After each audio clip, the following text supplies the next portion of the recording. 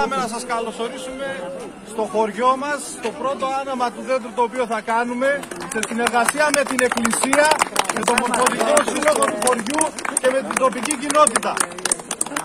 Θα θέλαμε να ευχηθούμε χρόνια πολλά σε όλο τον κόσμο, υγεία, ευλογία, ευτυχίας στις οικογένειές σας και με το κα...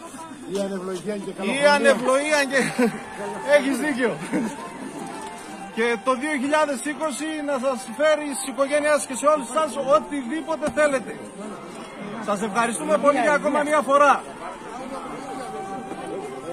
Όλα τα παιδάκια τώρα να έρθουν μπροστά να πάρουν το κάθε ένα από ένα στολίδι να στολίσουμε το δέντρο μας και στη συνέχεια να μετρήσουμε αντίστροφα για να το ανάψουμε. Θα τα πάρετε από το πάτερ, όλα θα σας δώσει ο πάτερ. Τα γιορτινά της φόρεσε η κοινότητα τετραλόφου του Δήμου Κοζάνης για να υποδεχθεί τη γέννηση του Θεανθρώπου.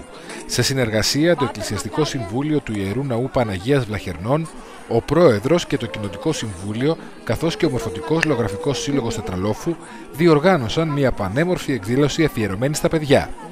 Οι μικροί μπόμπυρες γεύτηκαν μοναδικές λιχουδιέ, μοιήθηκαν στις χριστουγεννιάτικες χαρές της γέννησης του Ιησού Χριστού από τον Αρχιμανδρίτη Μακάριο και στη συνέχεια, σε μια πανηγυρική εκδήλωση, στόλισαν το χριστουγεννιάτικο δέντρο. Η εκδήλωση έχει γίνει θεσμός και συγκεντρώνει κάθε χρόνο μικρούς και μεγάλους.